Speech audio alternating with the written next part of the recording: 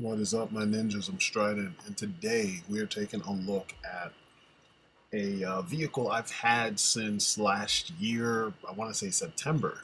Got this when ODC, that's me, came to visit, and we went to the uh, collector uh, toy expo. And uh, yeah, this is the Sentinel One True Heroes True Hawk. Pretty much, this is their answer to the Sky Striker I think they knew that Hasbro hadn't done an update, so they figured they would jump in and uh, give us something. So I really like this, and I'm going to explain to you why I really like it and why I have this, and I sold my Sky Striker.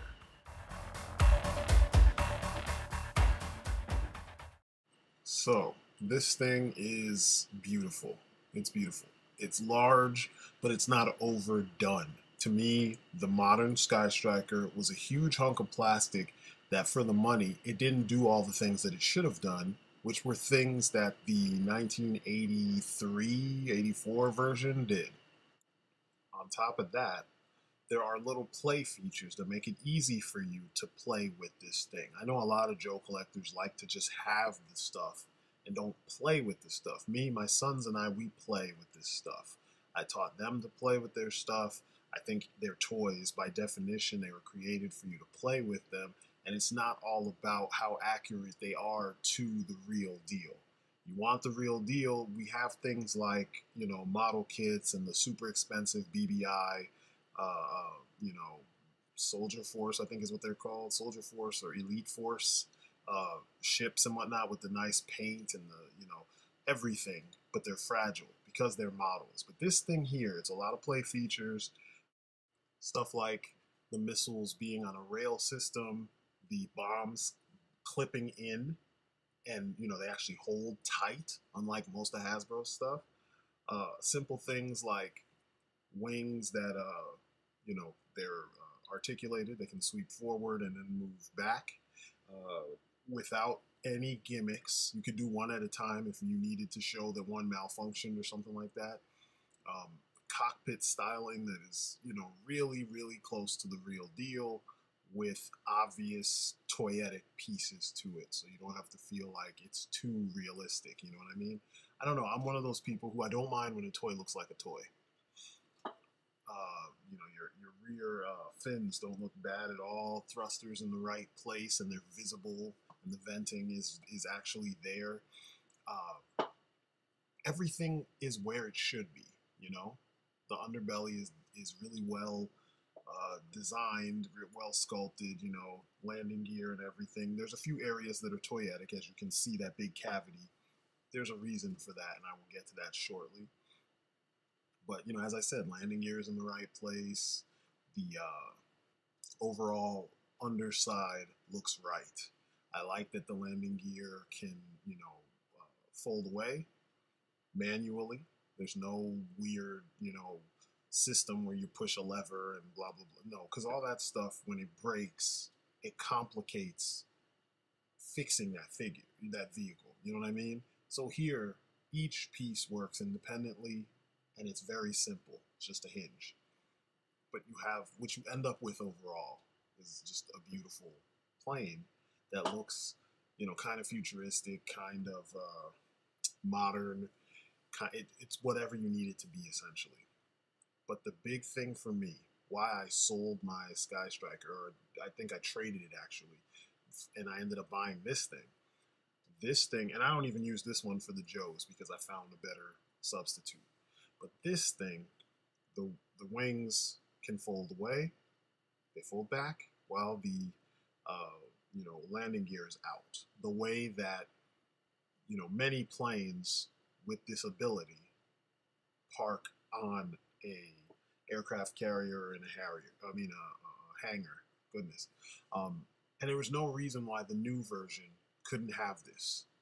And I mentioned this when I did my review of the M0 Flashhawk from uh, Lanard. It, it's a must. It's something that should have been on the Sky Striker because you saw it in the show when it came to uh, them being on the flag. Now with mine, I made this a joint, you know, Cobra and Mars product.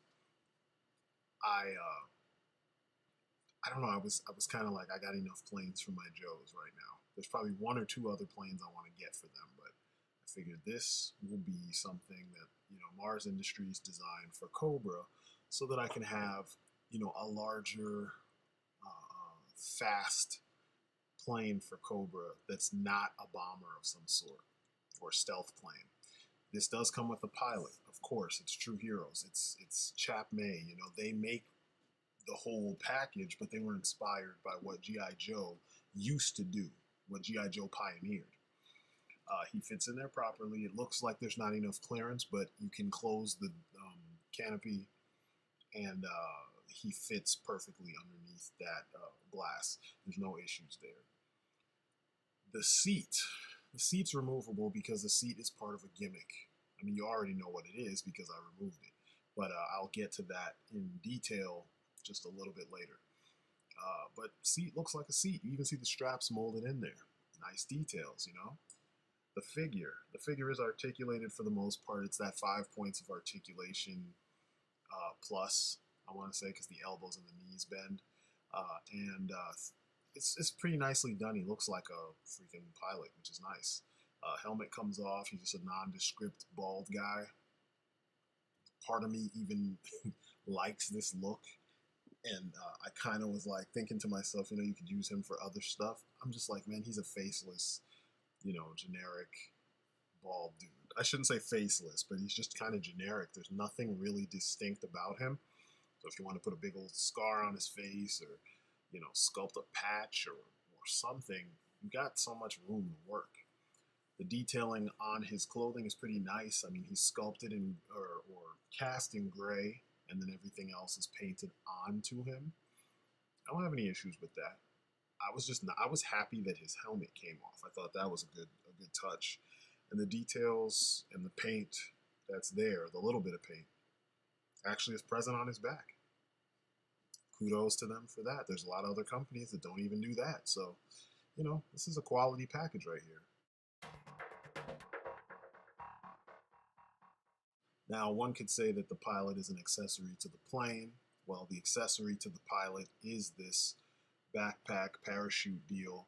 So you have a parachute, you know, a paratrooper with a working parachute.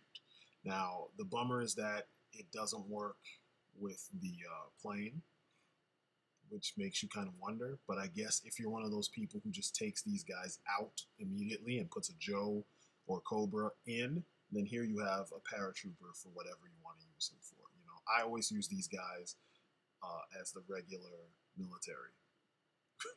so they they just you know because they they're so nondescript. You know what I'm saying? So the Joes and and and the core are like kind of the special guys. Now the underside, you saw that big cavity with buttons and a locking mechanism and all that. Uh, you can see where the batteries go.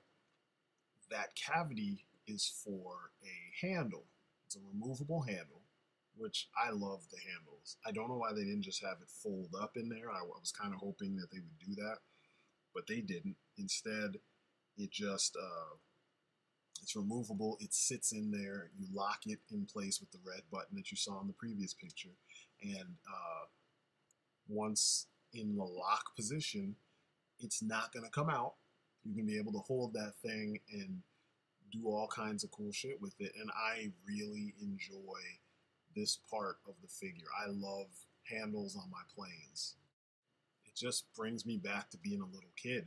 Also, there's a little trigger there, and the trigger will activate lights and sounds. You don't need them. I never need them because I'm good enough to. I got enough imagination to do all that myself. But man, it just adds to the feeling of being a big ass kid playing in your man cave, not a care in the world, really. I mean, you know, you got to go to work, whatever, you got to go to work. But I mean, it just, man, it made me feel like a little kid again.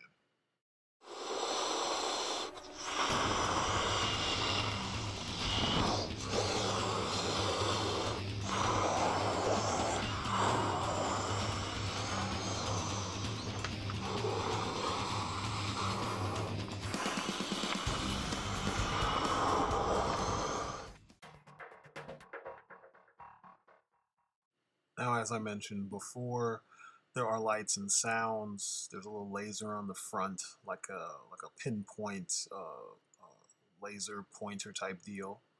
You just squeeze the trigger when connected.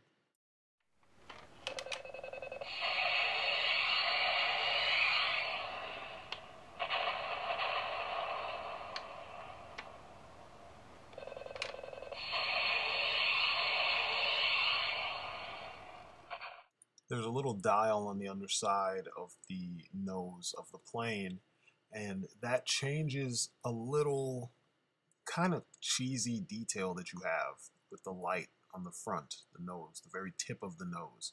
There are two graphics. One is a uh, targeting uh, crosshair type deal, and uh, you know it lights up pretty well, and it, it actually shows up clearly from a good distance. The other one is kind of stupid in my opinion. It's a little explosion that's in a circle, which kind of is just meh. But uh, the the big thing is the uh, major gimmick, which deals with the big red button on the back of the plane behind the canopy.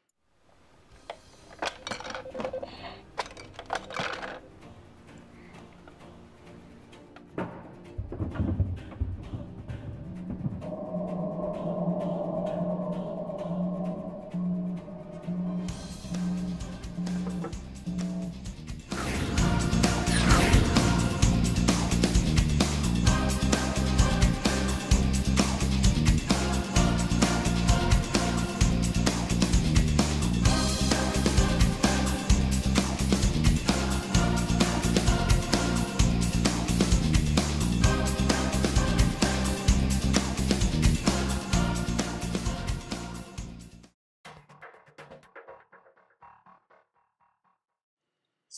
compare it to the uh, Storm Eagle.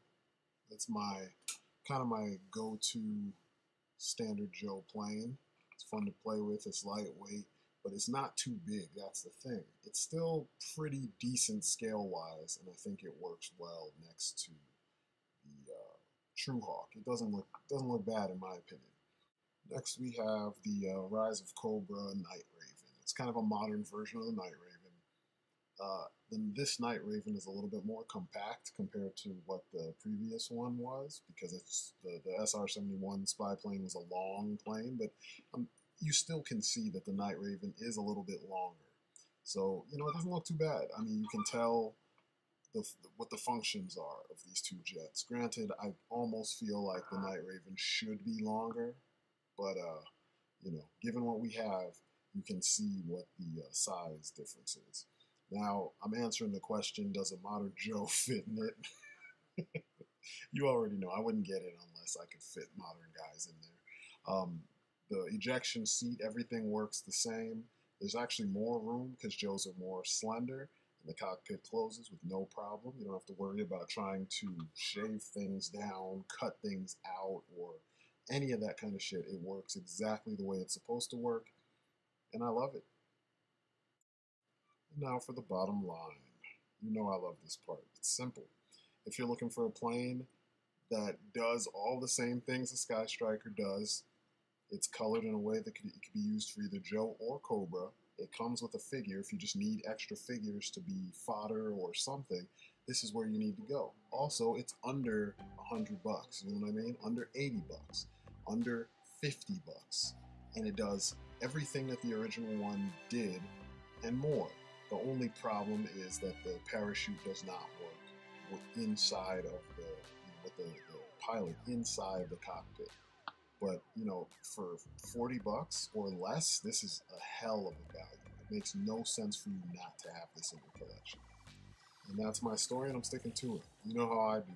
So, this has been a look at the S1 Sentinel 1 True Hawk by Chap Mei sold under the Sentinel One logo. You can find these in Toys R Us. Like I said before, they go for about 40 bucks or less. And uh, that's pretty much it. It's quality stuff, fun stuff. If you enjoy playing with planes and flying them around your house, this is what you need. So that's it for me. You guys have been great. I'll see you on the next video. Peace outside.